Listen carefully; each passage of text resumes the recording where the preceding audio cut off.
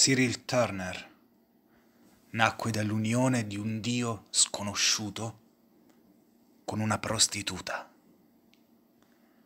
La prova della sua origine divina sta nell'ateismo eroico che lo portò a soccombere. La madre gli trasmise l'istinto della rivoluzione e della lussuria, la paura della morte, il fremito della voluttà e l'odio per i re. Dal padre prese la passione di incoronarsi, l'orgoglio di regnare e la gioia di creare. Entrambi gli diedero il gusto della notte, della luce rossa e del sangue. Si ignora la data della sua nascita, ma apparve in una giornata nera durante un anno di pestilenza. Nessuna protezione celeste vegliò sulla ragazza in amore che fu gravida di un dio. Il suo corpo, infatti, fu macchiato dalla peste qualche giorno prima che partorisse e la porta della sua piccola casa fu bollata con la croce rossa. Cyril Turner venne alla luce al suono della campana del beccamorti. E come il Padre si era dileguato nel cielo comune degli dei, così una carretta verde trasportò la madre alla fossa comune degli uomini. Si racconta che le tenebre erano così profonde che il becchino dovette rischiare l'ingresso della casa appestata con una torcia di resina.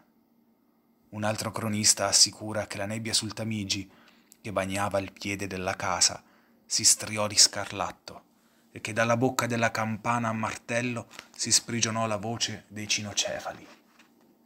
Infine, sembra certo che una furiosa stella fiammante comparve sopra il triangolo del tetto, fatta di raggi fuligginosi, torti, malannodati, e che il neonato le mostrò il pugno da un lucernaio mentre essa scrollava su di lui le sue buccole informi di fuoco.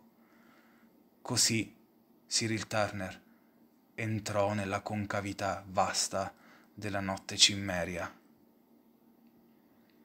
È impossibile scoprire quel che pensò o fece sino all'età di trent'anni, quali furono i sintomi della sua divinità latente, come si persuase della sua propria sovranità. Un frammento oscuro e pieno di spavento contiene l'elenco delle sue blasfemie. Egli dichiarava che Mosè era stato solo un giocoliere e che un tale chiamato Heriots era più abile di lui, che l'origine prima della religione era di mantenere gli uomini nel terrore, che Cristo meritava la morte più di Barabba, ancorché Barabba fosse ladro e assassino che nel caso egli avesse intrapreso la scrittura di una nuova religione, l'avrebbe fondata su un metodo più eccellente e più ammirevole, e che il Nuovo Testamento era di uno stile ripugnante, che aveva diritto di coniare le monete al pari della regina d'Inghilterra, e che conosceva un certo Poole, prigioniero a Newgate, espertissimo nel fondere i metalli, con l'aiuto del quale sosteneva che un giorno avrebbe forgiato l'oro a sua propria immagine. Un'anima pia ha cassato sulla pergamena ulteriori affermazioni più terribili. Ma queste parole furono raccolte da una persona volgare. Le gesta di Cyril Turner denotano un ateismo più vendicativo. Egli viene raffigurato in una lunga veste nera, con in testa una gloriosa corona a dodici stelle, il piede sul globo celeste, mentre solleva quello terrestre con la mano destra. Percorreva le vie nelle notti di peste e di tempesta. Era livido come i ceri consacrati e i suoi occhi luccicavano languidamente come incensieri. Alcuni asseriscono che aveva sul fianco destro il marchio di un sigillo straordinario. Fu impossibile però accertarlo dopo la morte, poiché nessuno vide le sue spoglie. Prese come amante una prostituta del Bankside, che frequentava le vie sulle riva del fiume, e amò solo lei. Era giovanissima, e il suo viso era innocente e biondo. i rossori vi comparivano come fiamme vacillanti. Cyril Turner la chiamò Rosamond e da lei ebbe una figlia che amò. Rosamond morì tragicamente dopo aver attratto l'attenzione di un principe. Si sa solo che bevve in una coppa trasparente un veleno di colore smeraldo. Fu allora che nell'animo di Cyril la vendetta si mischiò all'orgoglio. Notturno percorse il mail lungo tutto il corteo regale, agitando nella mano una torcia chiomata di fiamme per rischiarare il principe avvelenatore. L'odio per ogni autorità gli salì alla bocca e alle mani. Prese a tendere agguati sulle strade, non per rubare, ma per assassinare i re. I principi che sparirono in quell'epoca furono illuminati dalla torcia di Cyril Turner e da lui uccisi. Si imboscava lungo i percorsi della regina, vicino a pozzi di ghiaia e forni di calce. Sceglieva la vittima nel gruppo, si offriva di farle luce tra le buche, la conduceva alla bocca del pozzo, spegneva la torcia e la faceva precipitare. Pioveva ghiaia dopo la caduta.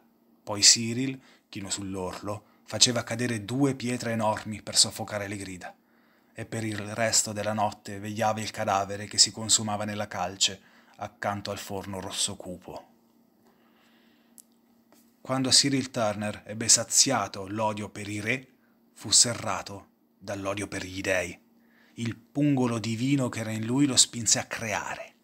Immaginò che avrebbe potuto fondare una stirpe dal suo stesso sangue e propagarsi sulla terra come un dio. Guardò sua figlia e la vide vergine e desiderabile.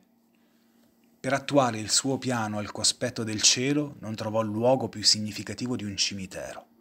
Giurò che avrebbe sfidato la morte e creato una umanità nuova in mezzo alla distruzione stabilita dagli ordini divini. Circondato da vecchie ossa, volle generare giovani ossa. Cyril Turner possedette sua figlia sul coperchio di un carnaio. La fine della sua vita si perde in un irradiamento oscuro si ignora la mano che ci tramandò la tragedia dell'ateo e la tragedia del vendicatore. Una tradizione vuole che l'orgoglio di Cyril Turner sia salito ancora più in alto.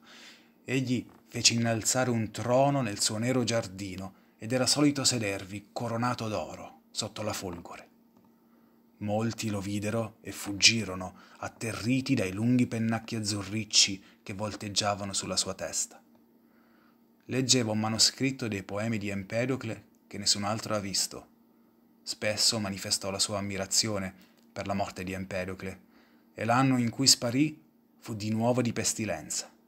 Il popolo di Londra si era ritirato sulle barche ormeggiate in mezzo al Tamigi. Una meteora paurosa guizzò sotto la luna. Era un globo di bianco fuoco animato da una rotazione sinistra. Si diresse verso la casa di Cyril Turner, che sembrò dipinta di riflessi metallici. L'uomo, vestito di nero e coronato d'oro, aspettava sul trono l'arrivo della meteora. Ci fu, come prima delle battaglie in teatro, un allarme cupo di trombe. Cyril Turner fu avvolto da una luce fatta di roseo, sangue volatile. Trombe protese nella notte suonarono come in teatro una fanfara funebre. Così Cyril Turner fu precipitato verso un dio sconosciuto nel taciturno turbinio del cielo.